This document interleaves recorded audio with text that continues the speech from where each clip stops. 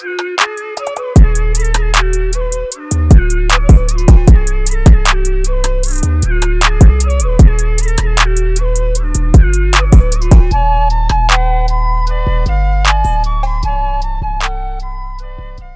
I don't know what's happened recently, but over the last month or so, there has been a ton of fake Game Boys just flocking the market. Now, I don't know if it's coming from one company who seems to be making them in different sizes, shapes, and forms, but I found about five or six over the last month, and I've got them all coming in. They're all coming in, so if you like that kind of stuff, hit subscribe. But the first one in, which I have right here, it's called the Classic Retro Mini Pocket Handheld Game Player, built in 260 for game support TV.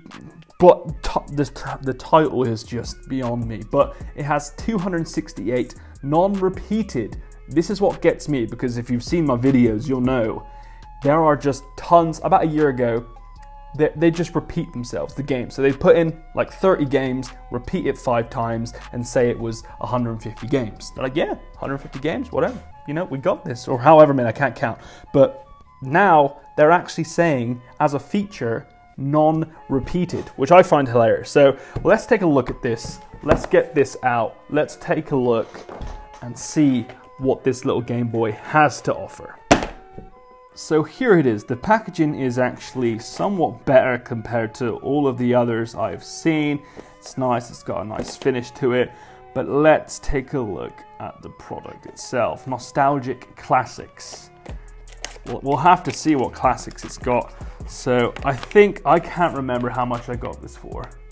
I was just looking at the order then. But whatever the title says, that's how much I picked it up for. I should really know before I rip the crap out of it. So this is what it looks like. It's actually quite thick, like almost like I've got the Game Boy here it's not as thick, but you know, it's it it feels chunky and reminds me of this fella here. But you can kind of see what's going on. Four select buttons, analog stick, start select, and then a sound button. So it doesn't seem to have a rocker. But all right, let's let's see what it's got. I want to know if it's like backlit or like whatever. And there's an instruction manual that I'll be impressed if it's in English. Yep, knowing. Oh, there is English. All right. Okay. Do not put the battery into a fire. Jesus Christ. I need to see how much this is. I need to see how much I've paid for this thing. Uh, I'm guessing 10 pounds. How much is it? Oh my god. This is three quid. This is four dollars. This is a three pound Game Boy. All right, that's kind of got me excited, weirdly enough. Uh, a three pound, that's probably the cheapest Game Boy I've seen. So, I'm, okay, I'm excited. Let's, let's jump in. I'm guessing it's got no batteries. No batteries, alrighty. So let's put these in. I'll tell you how it feels. We'll turn it on and I'll tell you if it's worth three quid. That's crazy. Three pounds. All right, let's just jump right in. Okay, on switch. Is that the same? I dig that. They've kept the uh, the Game Boy on switch on the top. I like that. A lot of the times it would just be a switch somewhere, but they've kept it on top. I like that feature. All right, okay, I've seen this main menu before, uh, and I apologize if you can't see it on the uh, top camera. My display is actually broken, so usually I look at the display to see what you guys up there are looking at, but it's broken. So the sound is a button, mute, level one, level two, level three. So there's three levels. Let's see if we can get this. Mute, probably can't hear that. Level one, level two, level three, mute. All right, fair enough. So it's got English and Chinese, which is good, I guess. So they can literally ship this worldwide without changing the software. Now, the screen is actually pretty good. Now you get the viewing angles on it is pretty bad, but if you're at it looking at it direct, which you should be, um, it's quite bright. The contrast is nice. It's very saturated. Holy cow, they have Super Mario Bros. Is it? Did it have audio? So, what? I was expecting this to be really jittery, laggy, a lot of ghosting, but this thing. Oh my god. What? This is actually quite nice to play on. Like, I feel like I could be very fluid playing this. I feel like I could probably get far in it as well because there's no actual lag, frame rate drops, none of that. Oh my god. And we've still got, how many games? 267 games left to go through. Now, I can't imagine they'll have a lot of classics. They probably, or usually, they just have uh, a couple of Mario ones and then they can get away with anything they want to do, really. But there's usually no other ones that they chuck in.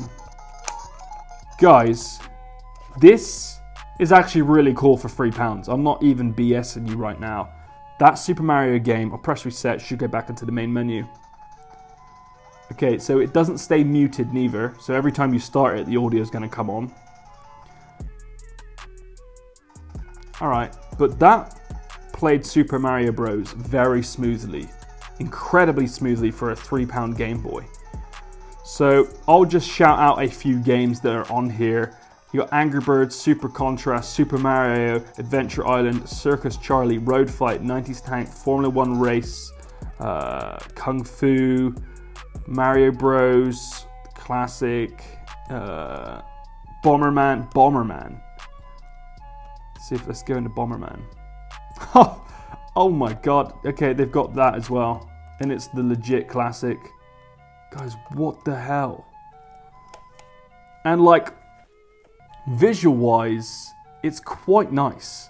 Like it's hard at the top, uh, it's sharp at the top here on the corners and then curved at the bottom, very similar to the corner of the Nintendo Game Boy here. Uh, it's You can get it in a ton of different colors as well, blue, red, green, yellow, whatever you want, but I kept to this one because it reminds me of, you know, the old school colors. It's got AAA, so if you do run out, you don't have to take a charger with you.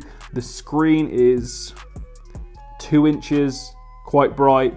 You know, you could be, you'll be able to play this at night as well because it is technically backlit. It's got games like Bomberman. Let me go into a few more uh, Happy Boys, Crazy Moto, Snowfield. Oh, there is another Happy Island. I've seen that twice, uh, unless it's Happy Island 1 and 2, which is quite possible. Mario Prince. This is like I was prepared to actually slate this, and by slate I mean say bad things about it because you know I'm just used to uh, these fake Game Boys being absolutely terrible. But I'm used to paying like 15 quid, where this is three pounds which is absolutely nuts. So I'm actually going to give that a thumbs up. Like you could give that to a friend for three quid, and it said shipping on there for 70p as well. So that's only a dollar. Um, so you can get that shipped from China for 75p. Um, so I'm actually impressed. Like you could give this to a friend as like a stocking filler or a, you know secret Santa gift. Like this is an affordable fake Game Boy. I'm impressed. I'm impressed. If you want to see more, hit me up on Twitter. I'll send you a few videos, pictures, whatever you want. But guys, it's probably the best Game Boy I've played on under £10. Boom.